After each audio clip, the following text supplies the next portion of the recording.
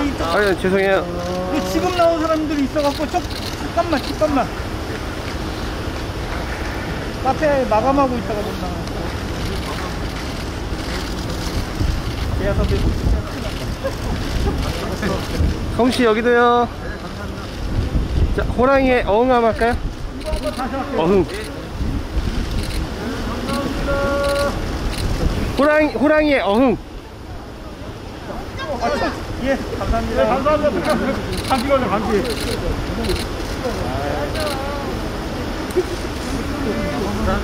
감사합니다 아, 선배 때문에 불러줬는데 왜 그래